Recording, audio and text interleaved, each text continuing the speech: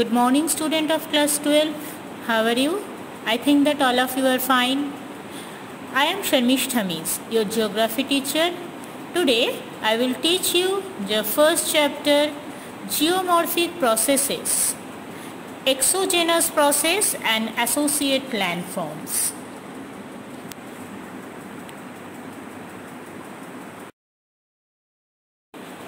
So first of all, we have to know what do you mean by geomorphic processes. The geomorphic processes means landform building process. Greek word geo means earth and the morphe means forms. So the processes which are involved in the formation of the land on the earth's surface are known as geomorphic processes. We can divide the geomorphic processes into two types. One is exogenous process and one is endogenous process.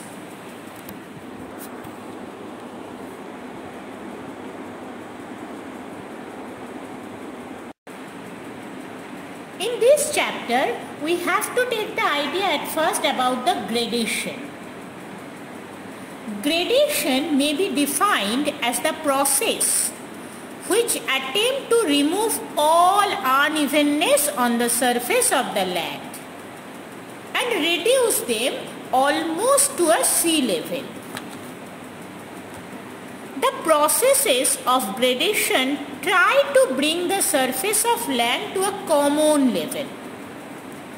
This function done by the agent of aggradation and degradation. So what is aggradation? Aggradation is a process in which land surface is built up by the processes of deposition and accumulation of debris, rocks fragments, clay, sand, rock waste and alluvial derivate from the transportation and denudation. Means by which the height of the land be increased. The process is known as aggradation.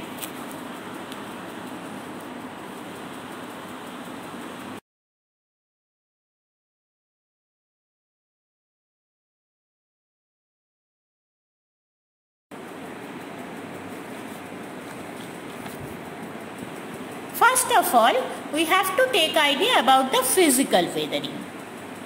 Mechanical weathering or physical weathering involves the disintegration of rocks by mechanically means without changing their minerals composition. It is also known as physical weathering as it is referred to the physical disintegration of the rocks. This type of weathering results from the action of temperature change, wind, frost and rainfall.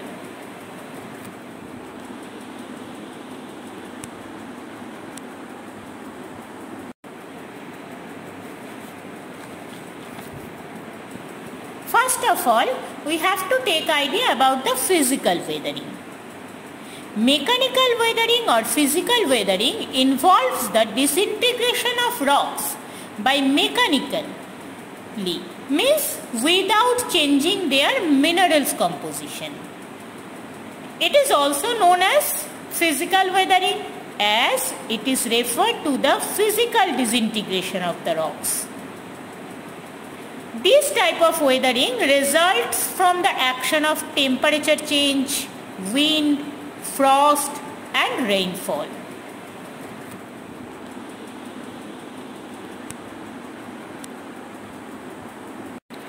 Now we have to take the idea about the different processes of physical or mechanical weathering. First of all, we have to take about the idea of block disintegration. Block disintegration is when the rocks split along joints forming large rectangular shaped blocks. You can see here a picture. Here we can see that the some blocks of rocks are separated from each other by the process of block disintegration. The next process is granular disintegration. What do you mean by granular disintegration? We know that rocks contain minerals. So different minerals in the rocks have different coefficient of expansion. Complex strain lead to certain fractures in the heterogeneous rocks composed of various mineral with different coefficient of expansion. This leads to granular disintegration. It usually occurs in the coarse-grained large crystal rocks.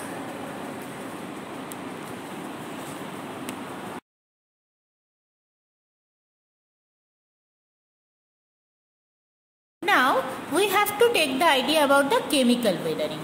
What do you mean by chemical weathering? Chemical weathering involves the disintegration and decomposition of rocks by chemical means changing their mineral composition. This type of weathering result from the action of weak acids and gases like oxygen, carbon dioxide, hydrogen, etc. This weathering produce a chemical change in the minerals of rocks. High temperature and humidity cause the rocks to decompose one important process of chemical weathering is carbonation.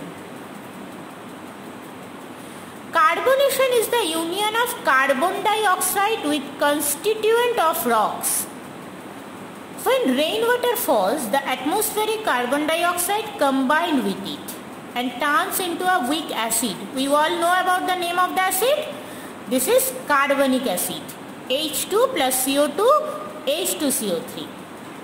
Limestone contains calcium carbonate. This acid water dissolve limestone.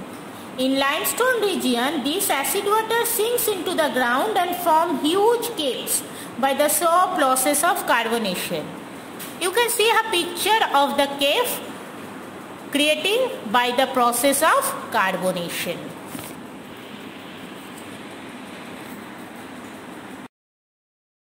Next process of chemical weathering is oxidation. Oxidation is the process in which oxygen combined with minerals of a rock, particularly iron compounds and decay it. As a result of oxidation, rocks get rusted. As iron rusted due to presence of air and water, the original color is changed into red yellow or brown. This rock began to decay and crumble to a powder mass of brown dust. You can see here like the rust on a rocks. The next important process of chemical weathering is hydration. Hydration is a process in which water or hydra combines with a mineral. When rainwater into enters the rock, it increases the volume of rocks. With the result, the pressure reduces the minerals to powder. Feldspar is reduced to kaolin due to hydration.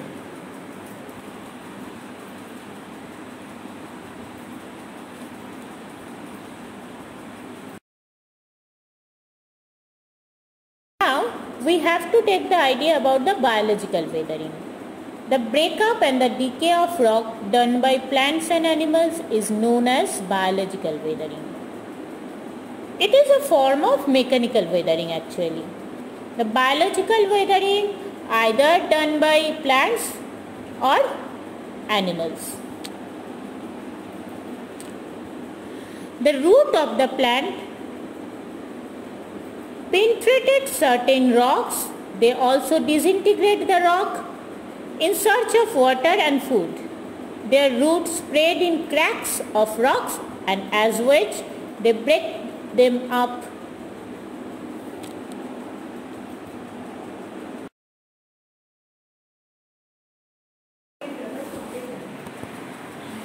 The burrowing animals such as rats, and foxes, rabbits and earthworm makes the earth hollows from within by making long holes. They also expose the earth by removing vegetation. They bring the subsoil material on the surface and thus make the field fertile. In this way, animals help in the biological weathering. That's all about the weathering and as well as the exogenous processes.